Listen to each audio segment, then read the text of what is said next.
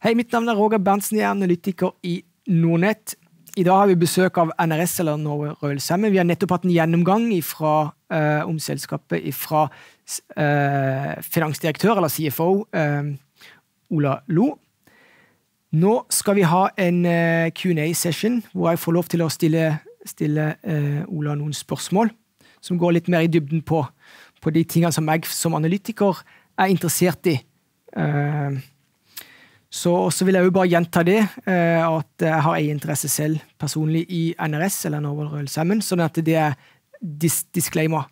Jeg vil jo bare eh, påpeke det at sjømatsektoren generelt er jo min foretrukne sektor på, på Oslo Børs, og har vært det siden 2006, siden jeg begynte som analytiker i Norge.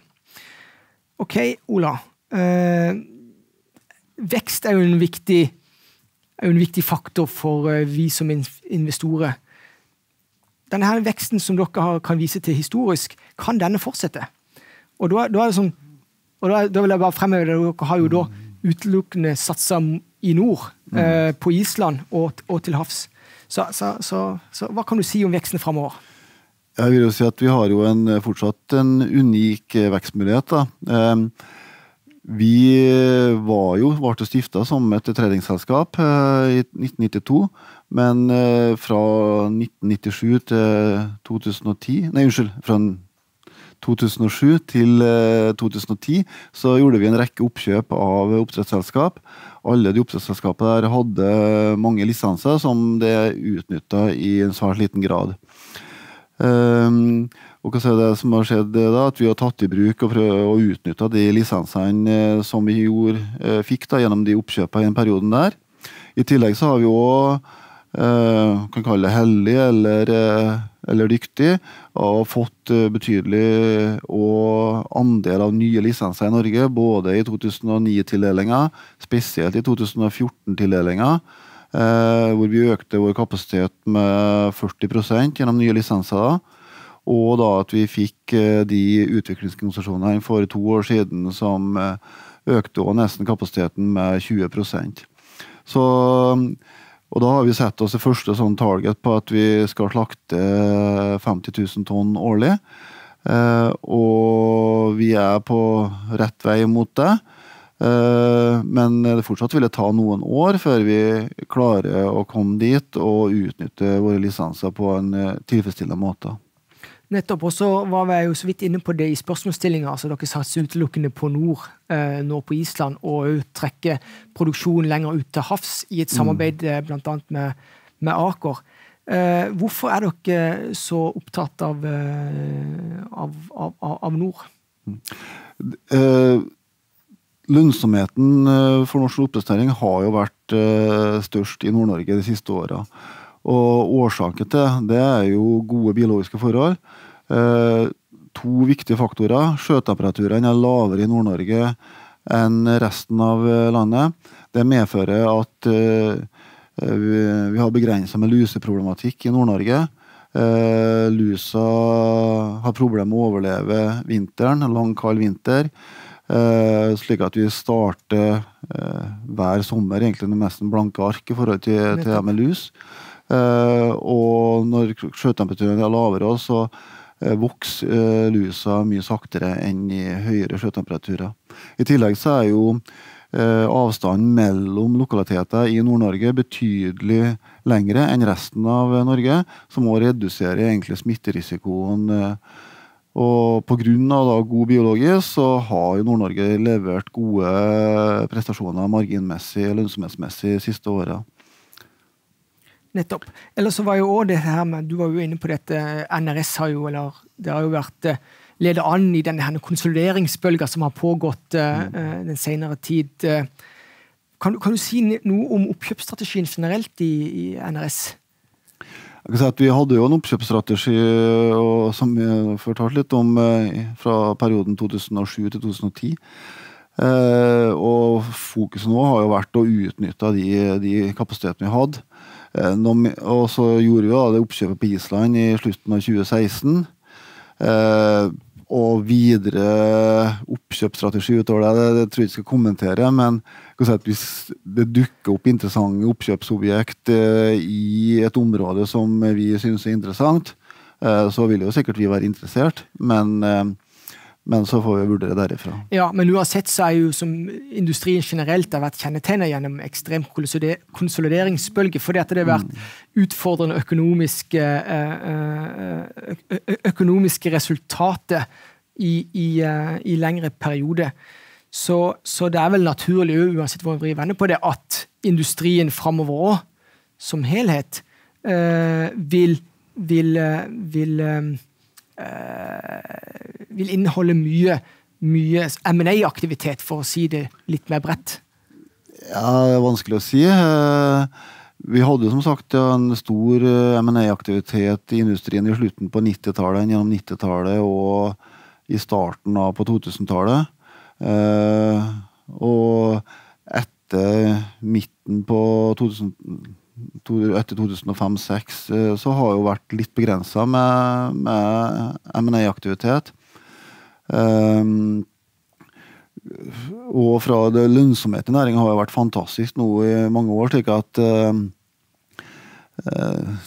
det er ikke sikkert det er så mange selskap som har uh, eiere som har lyst til å selge. De, kanskje mange av de mindre selskapene de trives godt med å være små. og sånn, så jeg vet ikke hvor mye muligheter som vil komme framover på, Nei, altså på oppkjøp. Det, det, nå, nå, prøver jeg bare å tenke litt, eh, litt vidt, og det, det, er ikke, det, jo ikke gitt at du, du, du, skal svare på det, men i alle fall så er det fokuset på, på miljø, fokuset på lus og hele den biten her. Litt lenger fram i tid så sier det seg selv at, at marginene ikke nødvendigvis blir like gode for alle.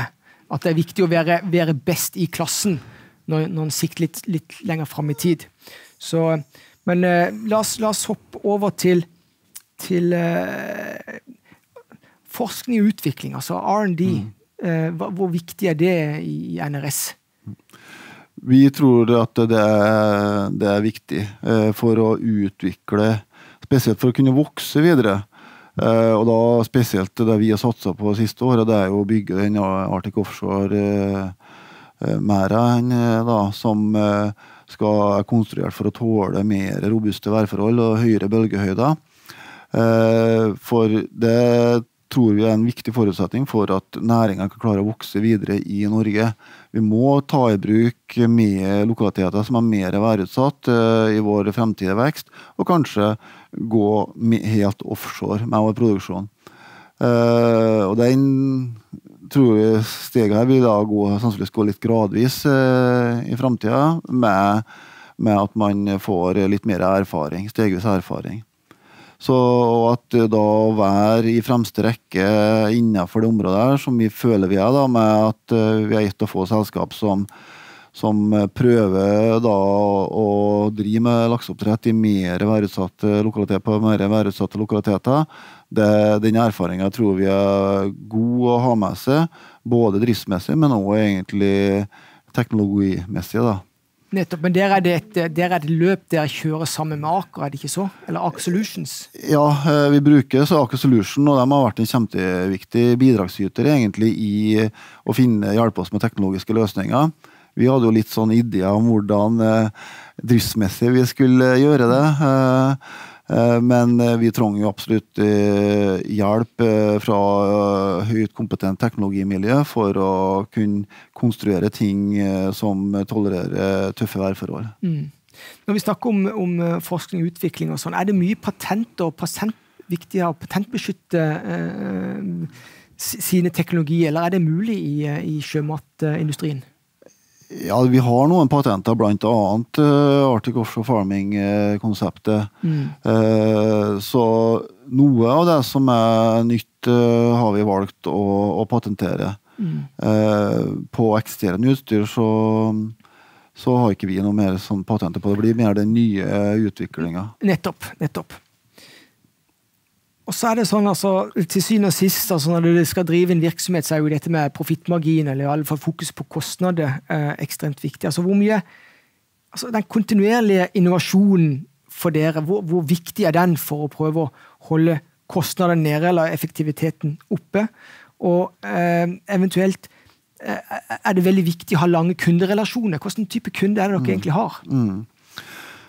Um, vi tar først det med, med kunderelasjoner. Uh, så, um, så kan jeg si at vi har jo vært i markedet siden vi ble stifta i 1992.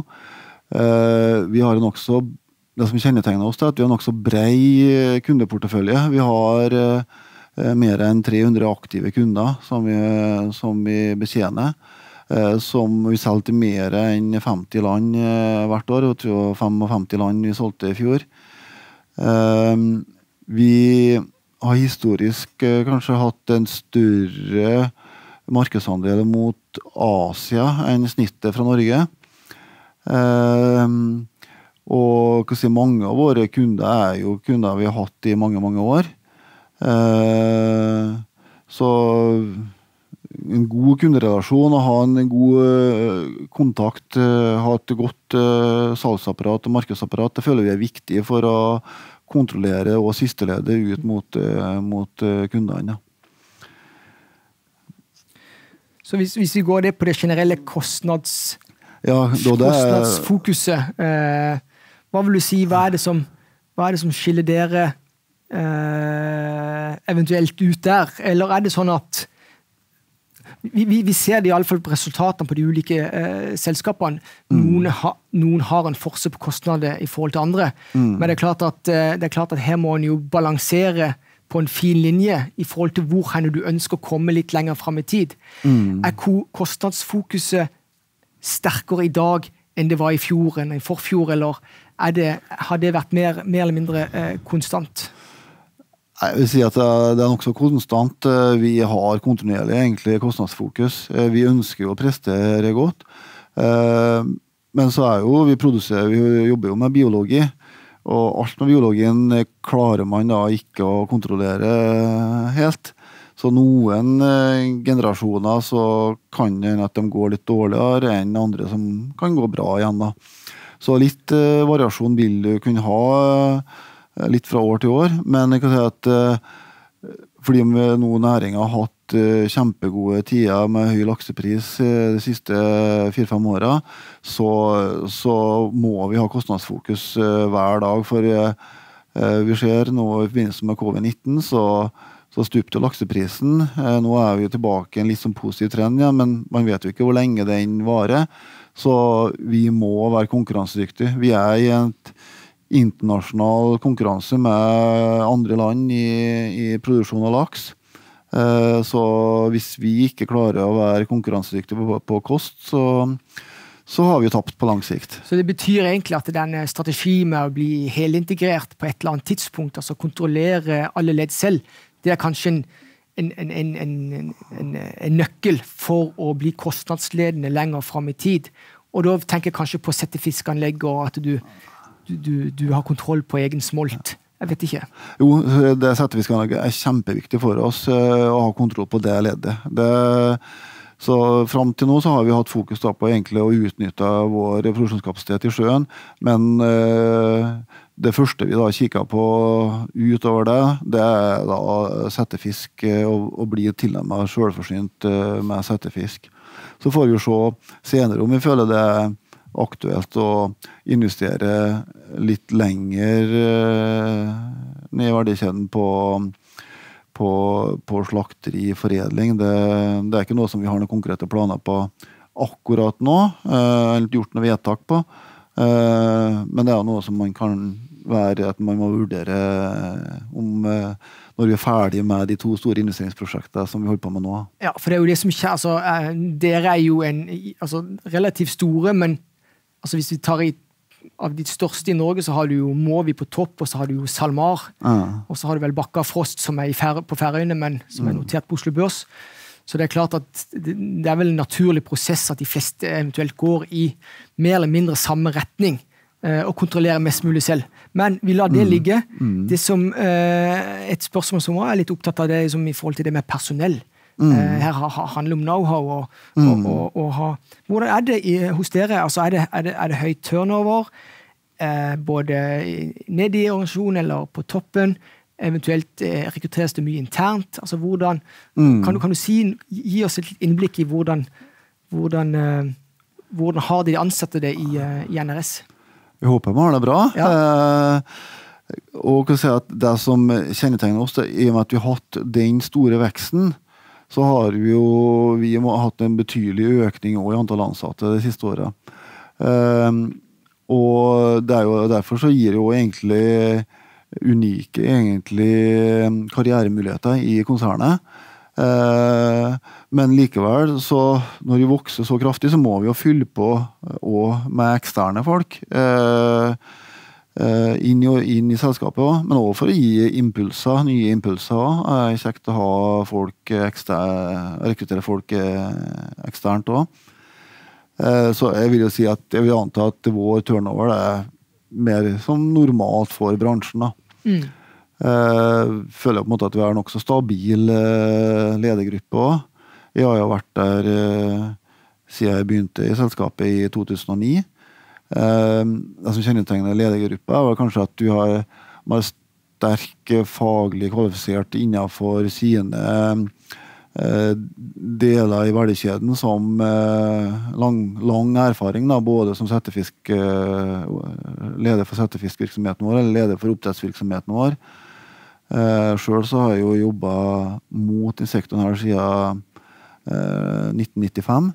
Og vi har jo en konsernsjef som har lang erfaring eh, fra bransjen. Begynte eh, å jobbe innenfor fiskehelse. så har den bakgrunnen, da. Mm, nettopp.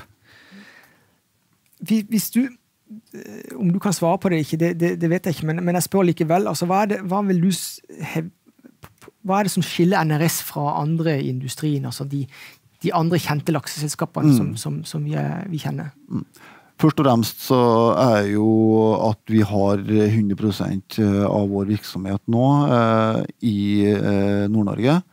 Eh, samt eh, da den investeringa vi har på Island. Eh, det andre er jo det fortsatt at vi har et betydelig vekstpotensial, organisk vekstpotensial med det lisensen vi eier i dag. Eh, og, da, og vår posisjon i Nord-Norge eh, til å kunne ta en, eh, vår andel av veksten i Norge videre fremover. Da. Med at jeg tror at mye av veksten eh, innenfor oppdrettsnæringa i Norge fremover vil være i Nord-Norge samt og uh, mer værutsatt og mer offshore, da, hvor vi òg har en, en uh, unik posisjon, føler jeg. da. Nettopp. Um, ok, disse vekstplanene og sånn, da er det jo det, det et, et, naturlig spørsmål. og da, Det kommer til finansiering. altså Hvordan, hvordan er den finansielle stillinga i forhold til disse fremtidige investeringsplanene? Mm. Og Har dere nok eh, kapital eller finansieringsevne gjennom driften? Mm. Kan du si noe om det? Mm. Nei, vi er jo inne i en eh, betydelig eh, investeringsfase, men vi har gode, god finansiell fleksibilitet. Da. Vi har jo ramma i banken vår på, to milliarder. I tillegg så har vi noen rammer ekstra hvis det skulle være behov for det. Vi hadde over 1,8 milliarder ubenytta trekkrettigheter ved utgangen av første kvartal. Så vi hadde jo bare 283 millioner netto rentebærende gjeld. Og um, vi skal jo investere og har prognose på at vi skal investere 1,2 milliarder i år. I da hovedsakelig det som går mot uh, offshorevirksomheten vår, Arctic Offshore Farming. Uh, og i tillegg da og mot settefiskanlegget. Så, men vi tjener jo penger. Eh, Covid-19-situasjonen eh, er jo mer usikkerhet i forhold til fremtidig prisen. Så det skal bli interessant å, å, å følge den. Men eh, eh foreløpig skal jeg si, så har jo Ser ut som kanskje bunnen er nådd litt nå. Eh, og lakseprisen er på, litt på tur opp igjen. Men Eh, som vanlig så vil vi jo få press på lakseprisen i tredje kvartal, eh, som vi har hvert år, pga. at eh, da blir det betydelig høye slaktevolum som må slaktes når sjøtemperaturen er god, og vi har meget god tilvekst i Norge. Mm. Hvis vi skal prøve å, å, runde av dette, så har jeg lyst til å stille et spørsmål som er liksom litt utenfor uh, det mest naturlige. og det, Da går det på at i forhold til eh, læring uh, historisk Har det vært noen vanskelige eller noen svake perioder i, i uh, NRS sin historie som, som dere har lært spesielt mye av? Er det noe du kunne trekke fram? Nei, jeg kan si at lært mye av si at Man har jo siste egentlig nedturen eh, si, for laksenæringa generelt, det var jo i, i 2011 og 2012, når man eh, hadde en eh, global tilbudsvekst på jeg tror det var rundt 26 mm. i årlig slaktevolum. Da får man press i lakseprisen, og når lakseprisen på den tida der nærmer seg noen par og 20 kroner, så så begynner, da var jo produksjonskosten veldig lav, så at, uh, da begynner man å nærme seg produksjonskost. Eh, og da er det viktig å, å ha rett fokus eh, og, og, holde fortsatt trykket og kontroll på kostnadene. I tillegg så kan vi si at biologisk produksjon er jo, er jo ikke noe som man kan kontrollere helt og fullt. Men vi har jo prestert rimelig bra produksjonskostnader eh, siden vi ble oppdretter og siden vi ble børsnotert. Eh, men noen generasjoner går litt dårligere enn andre. Vi hadde en 2015-generasjon som gikk litt dårligere, og så har jo nå da den 2018-generasjonen som, som, har gått litt dårligere enn normalt. da. Men eh, vi tror på at uh, vi jobber hver dag på å få redusert kostnadene, og håper at eh, Eh, de skal ha en fin utvikling igjen på når vi skal begynne å slakte av den fisken vi satte ut i, i 2019. Mm. så er det jo sånn at For industriens historie så har det vært mange nedturer. Så det er vel kanskje litt av det unike med industrien nå. Når jeg ser på at å håndtere nedturer mm. Eh, for det, Nå står jo verden i en global krise, men, men industrien, sjømatindustrien har, har jo vært flinke historisk på, på å komme ut av krise. Og, og gjerne litt bedre enn en, en dere gikk inn. Vi har jo et unikt og fantastisk produkt, da, du, som er et sunt og godt produkt. Som og kan si at Mat er noe verden må ha. Og hvis du trekker parallellen til finanskrisen også, så eh, laks sto seg kjempegodt gjennom den finanskrisen. Eh, det var jo en eh, økt i Hellas som var kraftig ramma av den, og sammen med Spania som var kraftig ramma av finanskrisen, så gikk konsumet av laks opp eh, gjennom finanskrisen. Og det, det, tyder jo på en måte at det, det er noe som er nokså robust da, i forhold til eh, nedgangskonjunkturer i verden. Eh, så mat og sunn mat er noe som eh, verdens befolkning heldigvis setter god pris på. Så det er en underliggende eh, etterspørselsimpuls der. Jeg kan jo bare nevne for min egen del, jeg hadde jo litt artig når, når jeg Før jeg ble en del av Nordnett, så var jeg jo en, en del av av, av Nettfond, så vi, vi, hadde hovedkontoret vårt i, i bygget til Olav Thon. Ja. uh, og, og, der følte jeg med at når vi fikk servert uh, laks på lunsjen av, eh, av kantina til Olav Thon, så kunne jeg bare se på når, når de mest kostnadsbevisste restaurantene tok imot. Så det var veldig fascinerende å se på. Mm. Du kunne nesten trekke hva som var bunnen på laksepriser når, når det kom mm. laks på mm. bordet hos Olav. Så det var en sånn liten greie som jeg hadde for meg sjøl. Eh, men, men, i alle fall så er det jo åpenbart at det, er det er noen ekstreme impulser der ute som tar imot det vi kaller for billig protein, i bunn og grunn. Mm. Og allsidige proteiner. Mm. Uh, så, så, og det er jo noe av det, det som jeg tror er et langsiktig perspektiv for industrien nå. Det er, det er masse, uh, masse i komminga. Mm. Er, historien er, som du sier, det har jo vært volatil på lakseprisen. Eh, det var flere årsaker til laksemarkedet. For 20 år siden var vesentlig mindre over eh, halvparten av det det var i, er i dag. Eh, samt at og da hadde du større og svingninger i tilbudsvekst fra år til år pga. at du hadde betydelig uutnytta produksjonskapasitet mm. i verden. Men det som jeg tror nå framover, er at du får mer stabil eh, årlige slaktevolum eh, pga. at eh, det er ikke så fleksibilitet når du eh, tilnærmet utnytter kapasiteten globalt, samt at eh, markedet er så stort at hvis man får problemer i et enkeltmarked, så vil ikke det ha så stor innvirkning. Men selvsagt, totalt EU-markedet er, er, jo kjempeviktig for, for laksebransjen. Ja, det betyr egentlig at de, de normale svinger som vi har vært vant med, de, de flates mer, mer ut mm. i bunn og grunn. Mm. Produktet er blitt mer industrialisert. Etterspørselen, som du sier, det er flere og flere som, som, som, uh, som etterspør uh, sjømat. og det jeg, jeg, tror vi skal avslutte der. Mm uh, da fikk vi jo i alle fall en sånn en røftlig god, god, gjennomgang i forhold til hva de spørsmålene som jeg hadde. Eller så vil jeg be dere som er interessert i å lære mer om NRS eller Norway Royal Salmon, ta en titt på selskapets hjemmeside, norwayroyalsalmon.com. Aksjen handles for øvrig under tikkeren NRS eh, på Oslo Børs. Og til neste år så vil jeg invitere Ola på nytt eh, for en ny Q&A. Så inntil da, på gjensyn.